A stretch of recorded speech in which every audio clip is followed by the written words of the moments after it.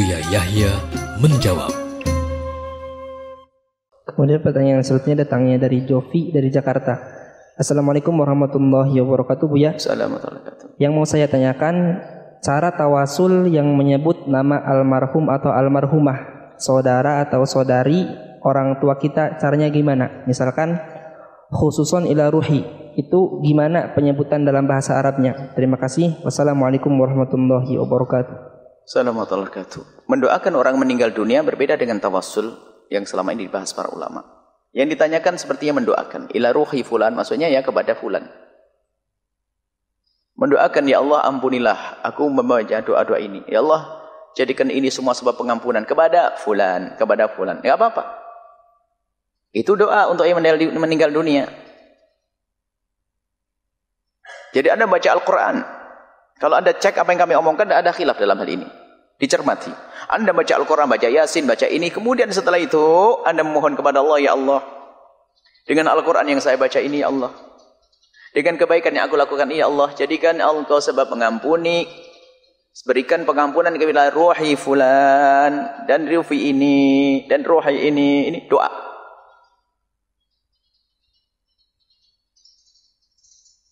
Diulang kalimat tadi. Baca Al-Quran semuanya. Kemudian setelah itu, memohon ya Allah dengan bacaan Al-Quranku ini. Jadikan sebab engkau mengampuni. Atau memberikan pengampunan kepada fulan. Itu doa. Adapun tawassul, itu memohon kepada Allah. Tawassul ada dua macam. Kalau itu bukan tawassul tadi, itu doa mendoakan mayat, orang meninggal. Dan istilah ilah ruhi enggak usah alergi nama ruhi. Dalam bahasa Arab enggak perlu dalam istilah bingung ruhi. Sebab yang paling berharga dari bangsa manusia adalah rohnya. Setelah itu dibangun dalam keyakinan bahwasanya kalau orang mendapatkan seksa di dalam kubur juga seksa dengan jasad dan rohnya gimana cara mengembalikan jasadnya Allah Maha tahu. Kemudian setelah itu ada namanya tawassul. Tawassul beda bukan itu babnya. Kalau tawassul itu adalah dua. Pertama tawassul dengan doa, yang kedua doa dengan tawassul. Kalau tawassul dengan doa itu adalah di antara orang yang hidup. Misalnya anda datang kepada Kiai Fulan, Habib Fulan, Ya Habib, Kiai doain saya. Padahal dia sendiri bisa doa kepada Allah. Tapi dia minta kepada orang lain agar mendoakan. Ini tawassul bid doa. Dan ini sudah biasa dan umum. Yang kedua adalah doa bit tawassul. Doa dalamnya ada tawassul. Yang mana? Ya ini yang sering orang enggak faham dan mempermasalahkan masalah yang kedua ini. Yang pertama jelas enggak ada masalah. Yang kedua juga sebetulnya tidak ada masalah bagi yang faham. Cuman yang menjadi masalah adalah kadang dari kita yang pakai tawassul salah memahamkan orang lain. Sehingga cara memahamkan kadang-kadang tawasul itu kan ya kalau minta kalau Pak Presiden ketemu Presiden susah kan lewat menteri. Loh, ini kan kurang ajar. Kepada Allah tidak begitu. Ini biasanya ahli tawasul ini salah menjelaskan tentang tawasul. Yang senang tawasulan salah menerjemahkan makna tawasul. Sehingga yang anti tawasul tambah jadi karena salah memahamkan makna tawasul. Tawasul itu bukan menjadikan orang perantara, bukan. Tawasul doa bi tawasul bukan menjadikan orang perantara. Kalau doa tawasul bid doa tadi ia menjadikan orang untuk mendoakan kita yang pertama. Tapi tawasul yang selama ini dipermasalahkan ada orang salah faham. Bukan menjadikan orang perantara ya kalau kita kepada presiden susah lewat ini, ke Pak Lurah lewat bulurah, lewat anaknya. Ini kan urusan dengan manusia. Tapi dengan Allah enggak kita bisa langsung. Maka tawasul doa dengan tawasul itu maknanya, lah ini yang selama ini dijalankan oleh para ulama kita. Ini maknanya tawasul Doa dengan tawasul artinya minta kepada Allah, mintanya tetap kepada Allah.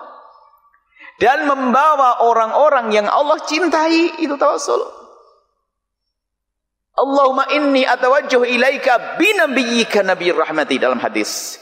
Ya Allah, aku memohon kepadamu dan aku bawa bersama doaku orang yang sangat kucintai Nabi Muhammad. Berikan ya, itu tawasul itu begitu. Syekh Abdul Qadir Al-Jailani ini bahasanya menerjemahkan salah. Ya jadi perantara. Ini kurang ajar. Makanya dalam kitab Sahih Bukhari, Allahumma inna kunna natawassalu ilaika binabiyika fataskini. Fataskina. Ya Allah, dulu kami bertawasul.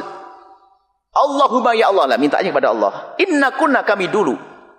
Natawassul ilaika bertawassul kepadamu, yakni membawa di saat memohon kepadamu kami bawa binabika dengan nabimu. Fataskina lalu kau beri hujan ya Allah. Wa inna dan sekarang kami natawassalu ilaika kami memohon kepadamu dengan membawa bi ammi nabika dengan paman nabimu. Mintanya tetap kepada siapa? Allah, bukan minta kepada mayat. Pernah suatu ketika kita ada diskusi dengan orang yang anti tawassul, subhanallah. Jadi kita ngomong dua jam itu kelihatannya tidak faham. Akhirnya saya coba. Saya undang mari kita datang ke Pondok Al-Bahjah setiap Jumat. Ada doa untuk orang meninggal dunia dan tawasul di sana. Dibalas.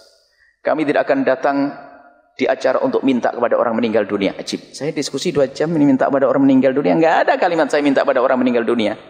Ini lihat, dia, jadi mindsetnya itu sudah salah. Cara berpikirnya sudah mengatakan kamu itu suka nyembah kuburan gitu loh. Jadi dan juga hal begini ini biasanya yang salah dari kita yang biasa tawasul.